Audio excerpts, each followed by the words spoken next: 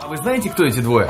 По отдельности они уже побывали в моей рубрике про плагиаты, но сегодня они врываются сюда со своим новым хитом, и оказывается, не такой уж он и новый.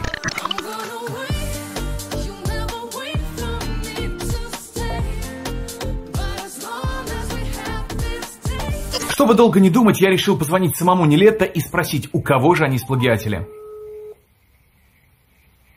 Видимо, у него нет ответа, но он есть у меня.